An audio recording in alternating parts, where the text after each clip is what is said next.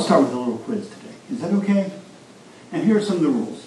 The first rule is uh, uh, no person can answer any more than one question. So you only get to answer one question. And I'm just going to tell you that the questions get harder. So as we go along. So if you want to volunteer, you probably should volunteer sooner rather than later. But my first question is, how many books are in the Bible? Who'd like to?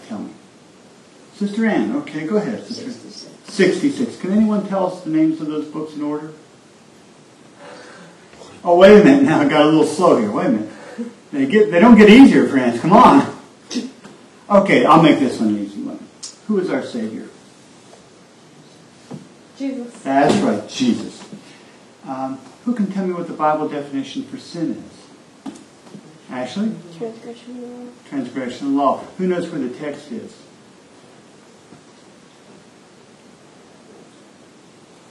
Anyone? 1 John 3 4. Um, what does the first commandment say?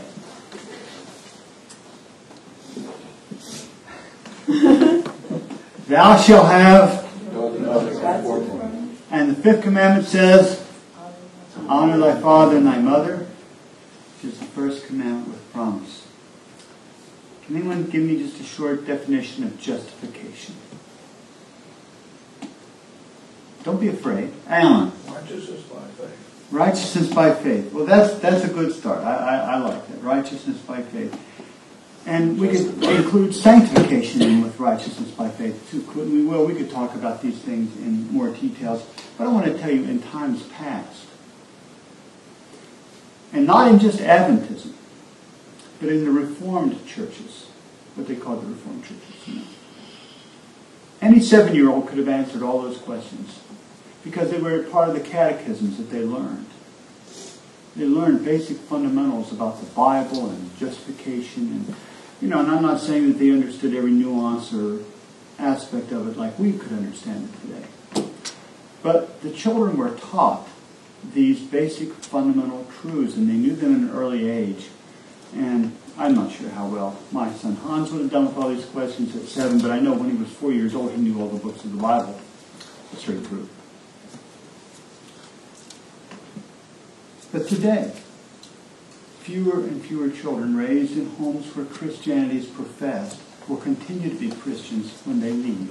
And in fact, it's estimated today that only about one in three children remain Christians, or remain active, professed Christians, even though they grew up in Christian homes. Something is wrong. Today, among our youth, 63% don't believe Jesus is the Son of the true God. 58% believe that all faiths teach equally valid truths. 51% don't believe Jesus rose from the dead, and 65% don't believe in a real, literal devil. And when young people lack a system of biblical belief, they are twice as likely to be angry with life or to feel like life lacks purpose. They are twice as likely to be disappointed in life, 48% more likely to cheat on an exam, twice as likely to steal, twice as likely to physically hurt someone, three times more likely to take illicit drugs, and six times more likely to take their lives in suicide. I'd like to invite you to open your Bibles with me to Deuteronomy chapter 6. Deuteronomy chapter 6. And what I'm going to be talking about today, while it has a main application for those of us who may have family situations, is applicable to every individual, whether we are living as individuals or living as families, whether we have children, whether we don't have children or not. You'll see how it works. Deuteronomy chapter 6, and if I just said, we're only going to read one verse in Deuteronomy chapter 6, I bet most of you would be able to guess what verse I start with. What verse would I start with? What? Four. Hear, O Israel, the Lord our God is one. You know that verse quite well, don't you? But it's not all that's in connection with it. And in fact, if we look at the context of it and the application of this now. So let's read verses 5, 6, 7, 8, and 9 also. And we're going to come back and talk a little bit about them. Starting again in verse 4 Hear, O Israel, the Lord our God is one Lord, and thou shalt love the Lord thy God with all thy heart, and with all thy soul, and with all thy might. And these words which I command thee this day shall be in thy heart. And thou shalt teach them diligently unto thy children, and shalt talk of them when thou sittest in thine house, and when thou walkest by the way, and when thou liest down, and when thou risest up. Verse 8. And thou shalt bind them for a sign upon thy hand, and they shall be as frontlets between thine eyes. And thou shalt write them upon the posts of thy house and on thy gates. Think about those words for just a minute. We call verse 4 the Shema of Israel. Here, Shema is a Hebrew word for hear. And we are told in, in Hosea 4 6, he says, My people perish for what? Lack of knowledge.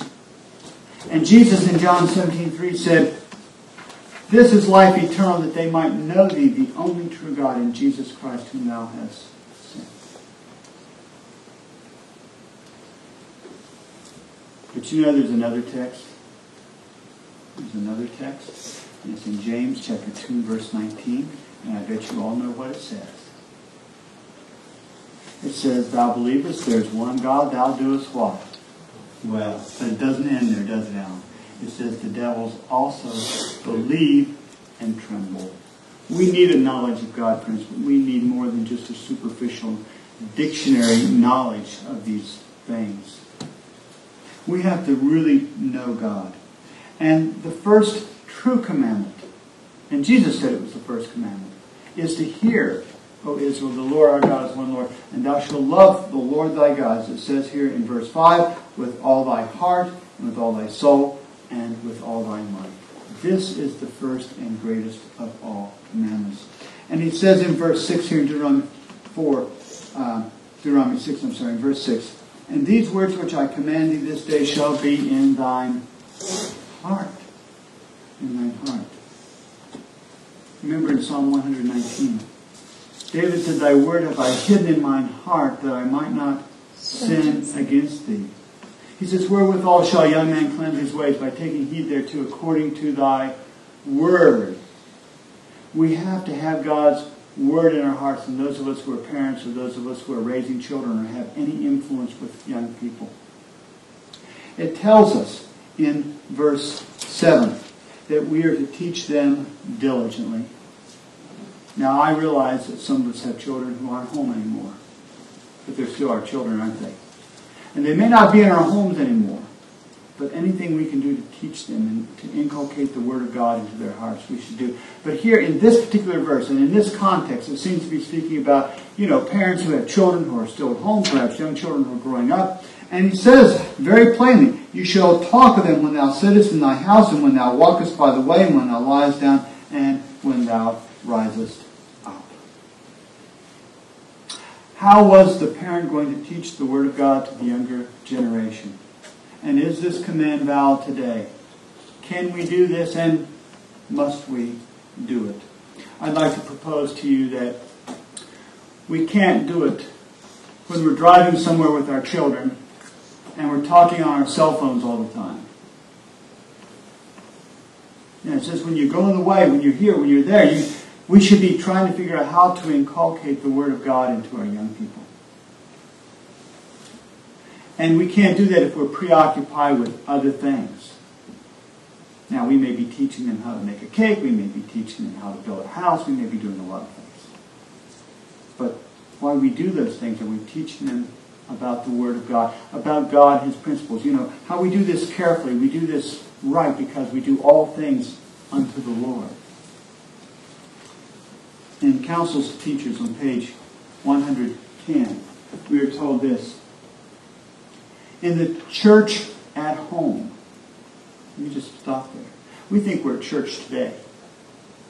But the fundamental church of the big church, of the whole church, is the church at home. This is the true foundation, is the church at home. In the church at home, the children are to learn to pray and to trust in God. Well, I thought that's why we sent them to Sabbath school, Alan. We sent them to Sabbath school so they can learn those things. Well, certainly we can try to reinforce it and teach it if they're not getting it at home. But friends, at the home is where they learn this. It says, teach them to repeat God's law. That means we need to memorize God's law, friends. It says, Come in humility, with a heart full of tenderness, and with a sense of the temptations and dangers before yourselves and your children. By faith, bind them to the altar, and entreat for them the care of the Lord. Train the children to offer their simple words of prayer. Tell them that God delights to have them call upon Him. And then in volume 5 of the Testimonies on page 423, we are told, My brethren, are you cultivating devotion? Is love of religious things, what's that word? Prominent. What does that mean? Prominent. First. First, foremost, is it important? Are you living by faith and overcoming the world? Do you attend the public worship of God? And are your voices heard in the prayer and social meeting? Let me just pause there. When Ellen White speaks about a social meeting, a social meeting, in her time and her terminology, what was a social meeting? Was it a place where you got together and played games? A social meeting? No, a social meeting was a testimony meeting. Oh, It was a testimony meeting where people gave testimonies. Let me continue. Is the family altar established? Well, what is a family altar? We'll talk about it in a minute. She says, is the family altar established? Do you gather your children together morning and evening and present their cases to God? Do you instruct them how to become followers of the Lamb? Your families, if irreligious, testify to your neglect and unfaithfulness. And so, beloved, putting all this, I believe, into the context of today, for those who are currently raising children, I'd like to ask, is God's Word the topic at your breakfast table and at your dinner table? Are you taking time to discuss God's Word with your family? As the head of the home, men, are you doing your responsibility? When we, as I said, when we go to the store with our children and, and, and they're in the car with us, do we speak about God and His Word on the way, or are we too busy with our cell phones or listening to some piece of music that we like? Are we talking to our young people about life, creation, relationships? Are you weaving God's Word into every conversation? And in Deuteronomy here, in Deuteronomy 6, verses 8 and 9, he speaks about having these, the law. It says, To bind them for signs upon thy hands, and they shall be as frontlets between thine eyes, and put them upon the posts of the door, and so on your gates. And the Jews took some of this very literally. You know, they would have these little boxes, and, and they would have scrolls of, of the different verses in it, and they would even hang some of these from their foreheads, you know, so it could be there. But I believe that an understanding for this today would call for us to have our homes as a sanctuary for God's Word, and for our homes to be beacons of light. You know, if you place something on a doorpost, and by the way, I, I- saw this, I noticed in Brazil, two or three homes I was at, they had the Ten Commandments on little sticker magnets on the refrigerator, you know. But maybe we don't all go past the refrigerator. But we all go through the doorpost as we go in and out, I suppose. But I'd like to say that in our lives and our witnesses, we are to make it known to our neighbors that our homes are a place where God's Word is taught and where truth abides. A place that is known to raise children by God's standards. A place that holds daily, morning and evening, family worship. And there's a special time for this, and we join with the fellowship of believers at least once a week in worship as we are here today.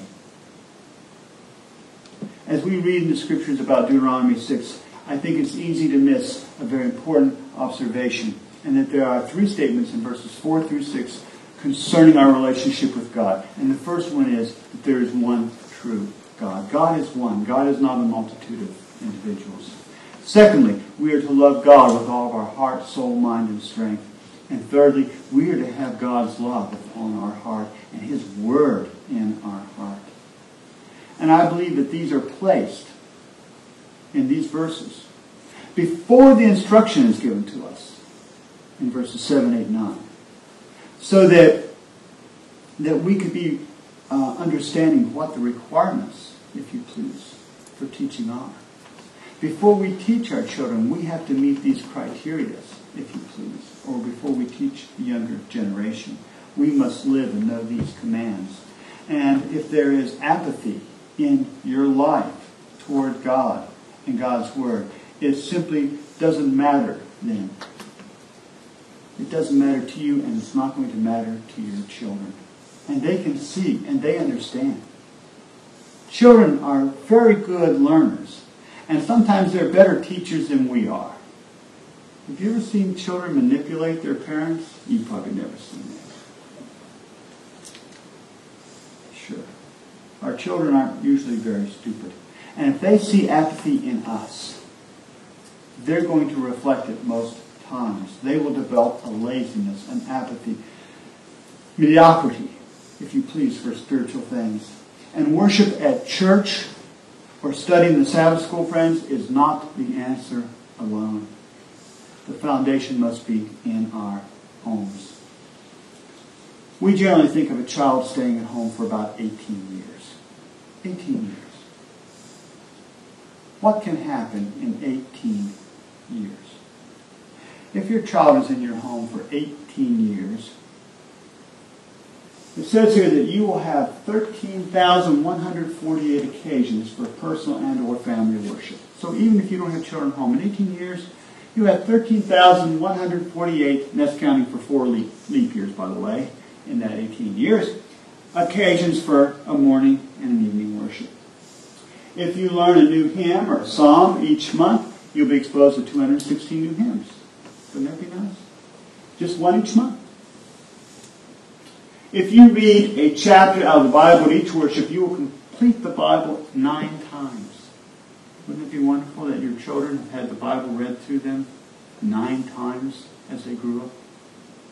And some are reading the Conflict of the Ages through right now. It's a wonderful series. There's 320 chapters. When I say Conflict of the Ages, it means patriarchs and prophets, prophets and kings, Desire of Ages, Acts of the Apostles, and the book Great Controversy. 320 chapters. If you just simply read enough that you complete one chapter a week in those worship sessions, you will complete that series through three times. Three times. What a foundation that you have as an opportunity to give your family. And all this can be done at something that Ellen White calls the family altar. By the way, you know most homes do have altars in them, don't you? Almost every home in America has an altar. It looks something like this.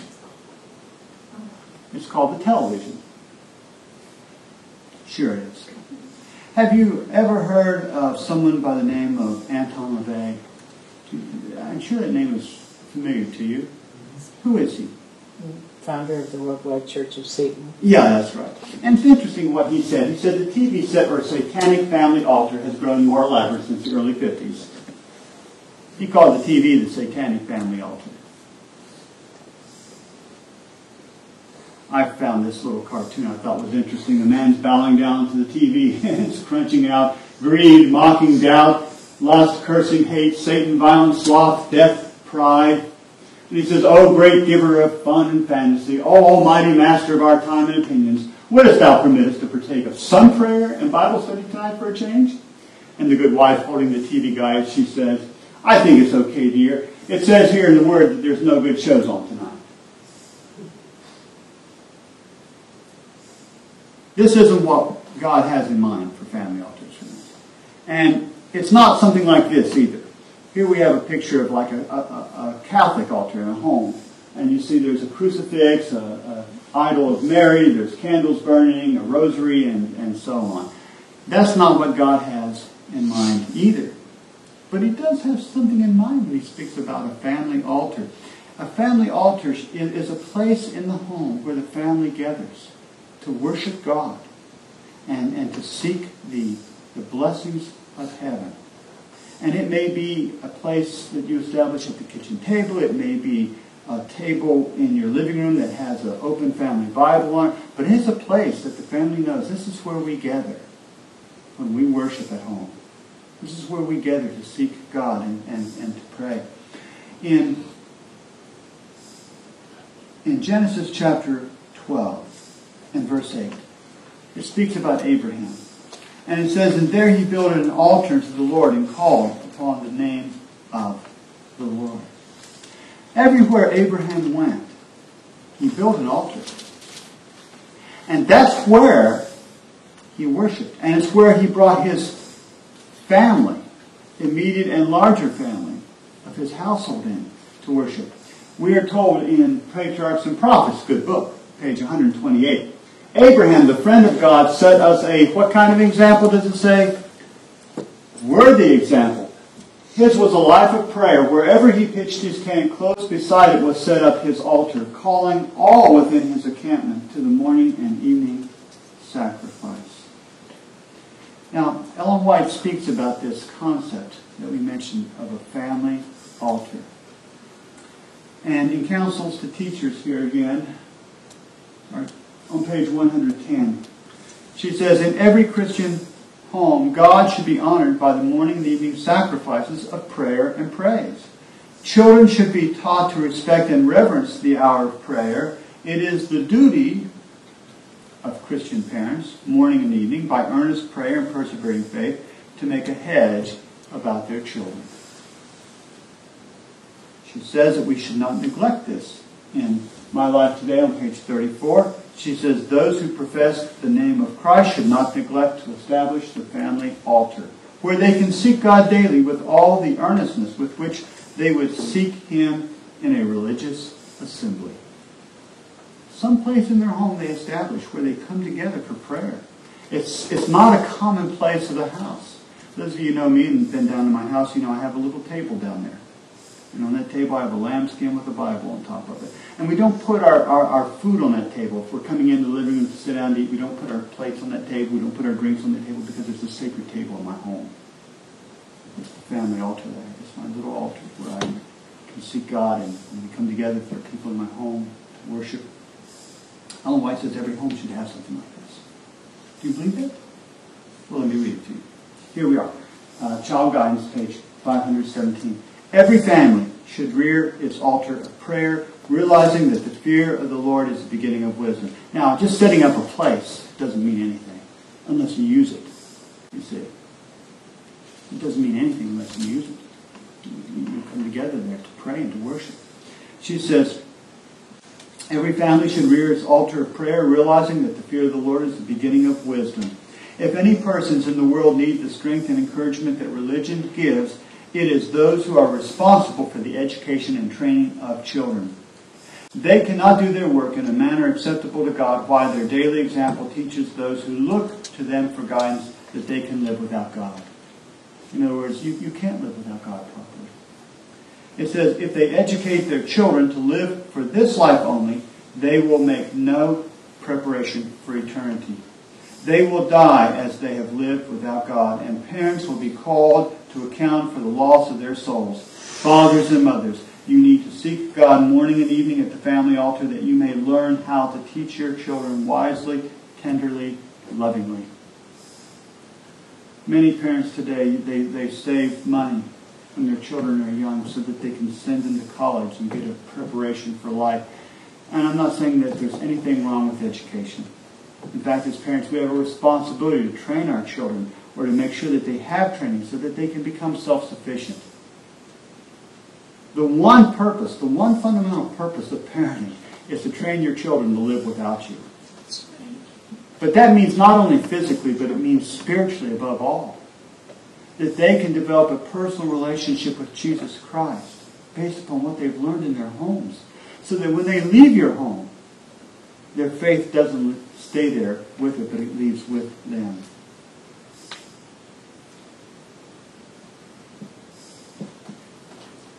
in volume 5 of the Testimonies on page 416, she says, The youth who show respect for sacred and holy things learn these lessons under the home roof. Before the world is placed upon the soul is marked the image of sin, deceit, and dishonesty. Love to God is learned at the family altar of the father and mother in very babyhood. Some of us know someone who's going to be soon. Precious. And this is the time to teach them when they're babies. We now know that children, we know scientifically now, that children recognize the voice of the mother as soon as they're born because they've been listening to it.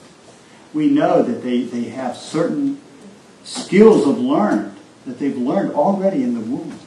My. Maybe I should recalculate my figures for 18 years and 9 months. But um, anyhow. Now, as I was studying this through and thinking about this, something popped out at me as I was reading through the Spirit of Prophecy that I wasn't looking for at all. And it was this. That many times when Ellen White was given a vision, the context is that it was done not just at church always, but it was done more at home around what she called the family altar. Let me just give you an example. In fact, the first one is her very first vision that she ever had. It was not long after the passing of time in 1844 that my first vision was given me. I was visiting a dear sister in Christ whose heart was knit with mine. Five of us, all women, were kneeling quietly at where? They had a family altar at home. And that's where they were kneeling for prayer. And while we were praying, she says, the power of God came upon me as I never felt it before. Testimonies for the Church, volume 1, page 58.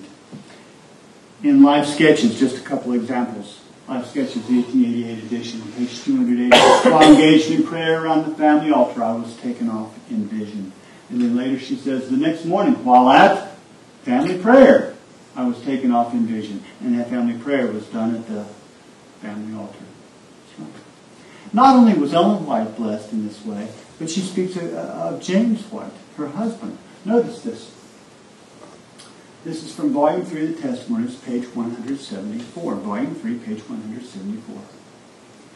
But one morning in prayer at the family altar, the Spirit of God came upon him, referring to her husband James White, as he was praying for divine guidance in matters pertaining to the Institute. And he exclaimed, I bowed upon his knees, the Lord will vindicate every word he has spoken through vision relative to the Health Institute, and it will be raised from its low estate and prosper gloriously. At that time, the Health Institute seemed like it was going to fold. They, they didn't know how to keep going any longer, and they were praying. And the Lord gave Elder White a vision that this was going to prosper, and of course it did. It prospered greatly. But he got this at the family altar as they were praying there, and I thought that was interesting. Ellen White, she speaks about her practice, and this is from the book Faith and Works, page 69. We do not realize the thousand dangers that our Heavenly Father has kept us from. We do not realize the great blessing that He has bestowed upon us in giving us food and raiment, in preserving our lives by sending the guardian angels to watch over us. Every day we should be thankful for this. And then she says, we ought to gather around the family altar every day and praise Him for His watch care over us. The children of Israel had lost sight that God was protecting them from the venomous beasts, but when He withdrew His hand, their sting was upon them. And sometimes, friends, we, we, we do the same thing. We become complacent. And we fail to remember what God is doing for us and to see what God is doing for us. And sometimes He lifts His protection, He lifts His mercy off of us, and then we have all these problems and we wonder why. God is trying to shake us, friends, and wake us up in the most gentle, kind way He can. But she says here we ought to have gratitude stirring in our hearts and come to God with a grat- great gratitude offering every day. And we do this, she says, at the family altar. Now, what do you do when you have a practical situation? What do you do when you have guests? What do you do when you have guests come into your home? And maybe these people aren't religiously inclined. Well, we're told in volume 6 of the testimonies on page 347 this. At the family board, and the family altar, the guests are made welcome. The season of prayer makes its impression on those who receive entertainment, and even one visit may mean the saving of a soul from death. For this work the Lord makes a reckoning, saying, I will repay. You can't force your guests to come to your family worship time, but you don't neglect it because you have guests, and you always invite them to participate. And if they do, she says, just one time may make the difference of the saving of that soul.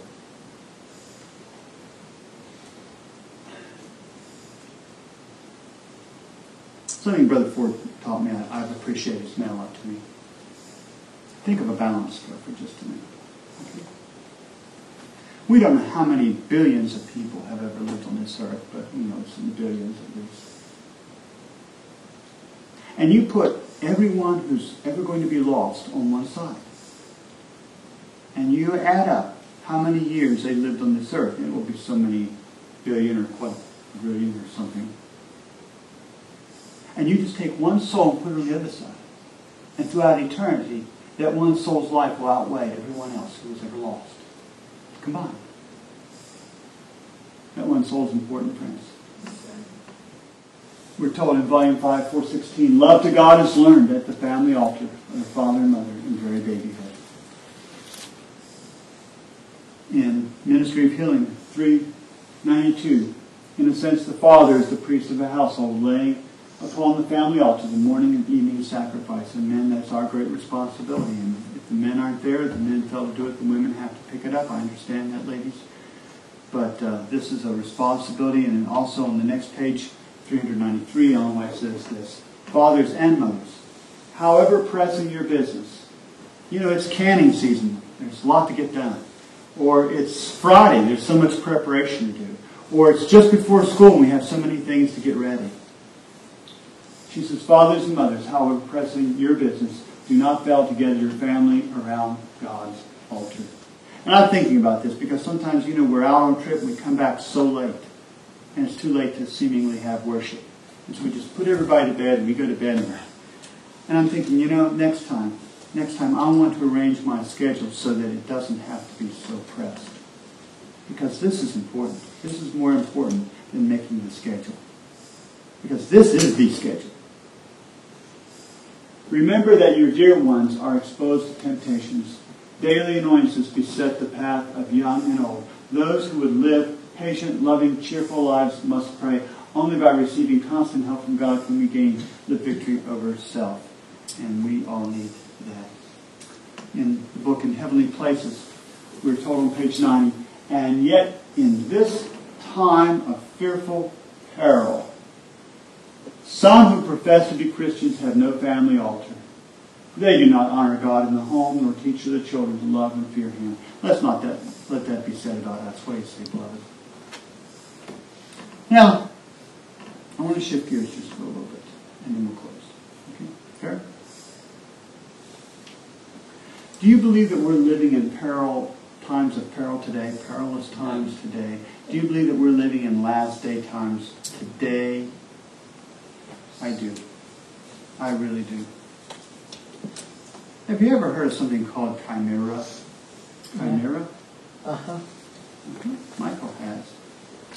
Those of us who are familiar with Bible prophecy know that, for instance, in the book of Daniel, there's a lion that has wings, a leopard with four wings and four heads. Right? There's some great and terrible beast, and then in Revelation 13, there's this composite beast. You know, it has bear, leopard, lion parts. And we might think, you know, that, that the people who read those verses when Daniel and, and then later uh, John wrote those verses, that maybe that was an astounding new idea to see some kind of a hybrid animal like that. But it wasn't at all.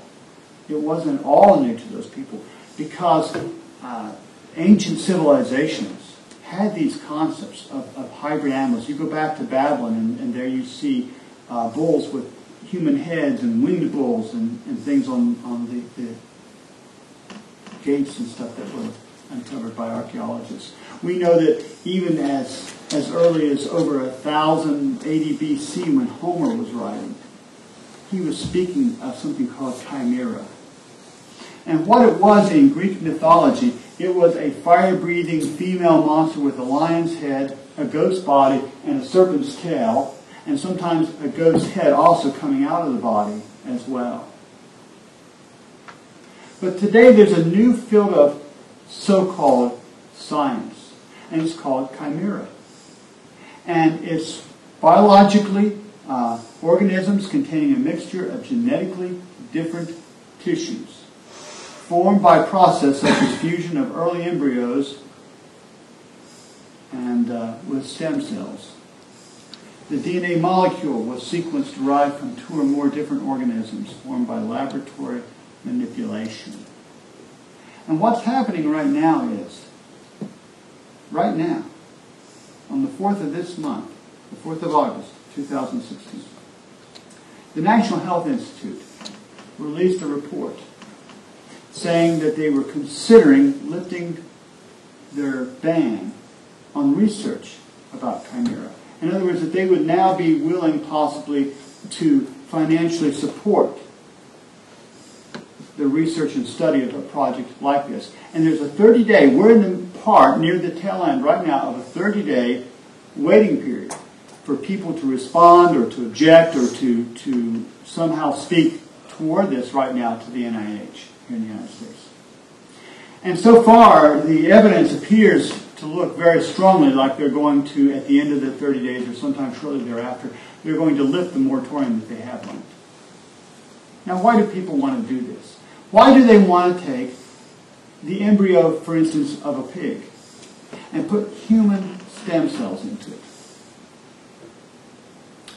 Remember this, human stem cells are so unique and so, so special because they can become literally any cell in your body. They have the ability to, to, be, to, to grow into bones, they can grow into muscles, they can grow into organs, they can grow into many things. And so the idea is, here's what we could do. If we could take these human stem cells and put into animals, they could grow organs that might work more like human organs. And so if there's a medical treatment, a procedure, or a drug that we want to test that we think might help humans, maybe heart problems or kidney problems or liver problems, but where we don't really want to try these drugs out on people first, or we could try them out on these animals that have a heart that works something like a human heart. But they want to do more. They're thinking yet beyond that. Well, what if we could actually grow a human heart in a pig? Or a human liver in a pig? Because every day in the United States, 7,000. 7,000 people die who need organ transplants who can't get them because they're just not available.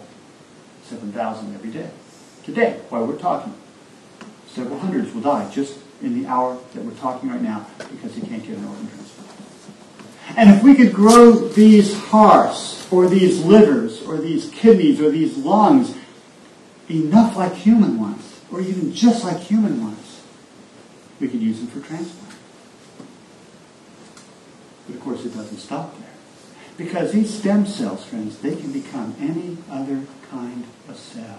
And that includes nerve cells that make up your brain. And so what happens if we perform this test and all of a sudden now we maybe have a pig or a dog or some kind of animal that develops what looks like a human brain? What if it develops a type of human consciousness? Or what if we can't tell? But it does. Now what happens? Or what if it were to develop fully functional human brain. How do we treat this animal? Do we harvest its organs? do we treat it like a human being? Can you see the moral and the ethical implications of this are tremendous? Not good. But they actually want to do this. In fact, there are scientists who say we'd like to grow human brains, human type brains in these animals, so we could do research on Alzheimer's disease and dementia and things like that. And furthermore, what if these animals were to develop reproductive systems that could produce human ovaries or human sperm? They might be a pig that could give birth to a human creature, human-like creature. I mean, this is just, and, and, and the fact is, there are scientists who want to do that very thing, to study infertility issues.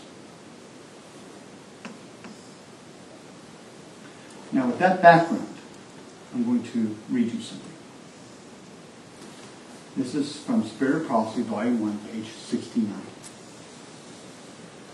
If there was one sin above another which called for the destruction of the race by the flood, it was the base crime of amalgamation of man and beast which defaced the image of God and caused confusion everywhere. For over a hundred years, Adventists have been debating, discussing what Ellen White really meant by this statement. When she says amalgamation of man and beast, did she mean amalgamation of men with men and beast with beast? Or did she mean amalgamation of men somehow genetically being fused with beasts? And been a lot of discussion on that. No one's not here to answer exactly what she meant. But I would like to say that even if it was simply men with men and beasts with beasts, even if it was only that, she condemned it. But here, here what we are seeing happening today is clearly amalgamation of human and animal genetics together. And my Bible tells me that God does not change. He is the same yesterday, today, and forever. And he is no respecter of persons. And if this was a base crime that he destroyed this world for, he's going to do it again, friends. And it's going to happen soon. And that's why it's important that we rekindle the fire and get our spiritual lives together. That's why we need to have morning and evening prayer because, we can know these things. And just knowing them doesn't help us. The devil believes and he trembles. Right? In Isaiah 33.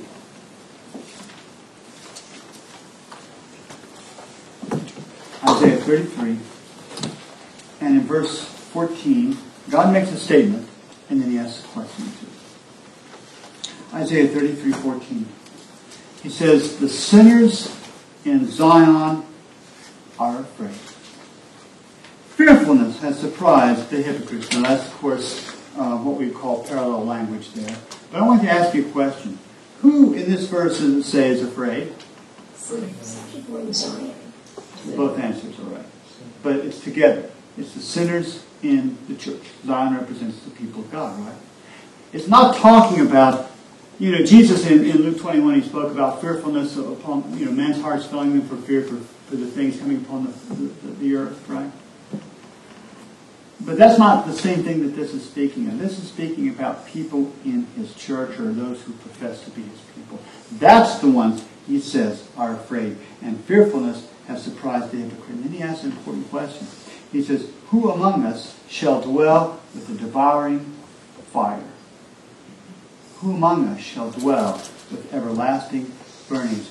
Because the Bible says our God, and I believe it's in uh, uh, Hebrews 12, 29, also in the Old Testament number, our God is a what? Consuming fire.